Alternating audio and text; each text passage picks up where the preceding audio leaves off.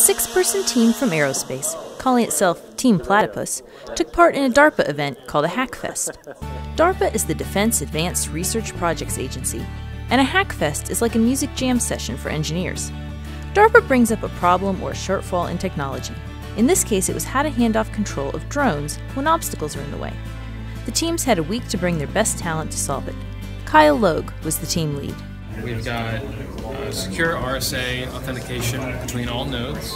Uh, we've got a mesh network, so everybody's transmitting and receiving on the same frequency.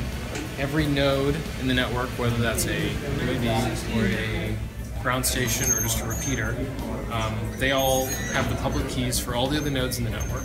Hackfests are designed to accelerate innovation and build common platforms and skills among the engineering community. Team Platypus took on two scenarios at once, showing how a swarm of drones can be handed from one operator to another with an obstacle, in this case a simulated mountain, in the way.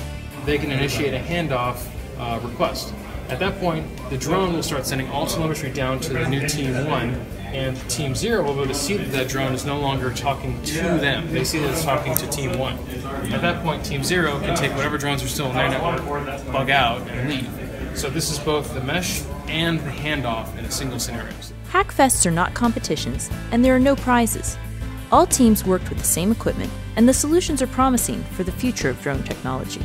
The, the challenge was, you know, oh, a couple drones today, right, with what they can do logistically, but, you know, the vision is to have thousands of drones.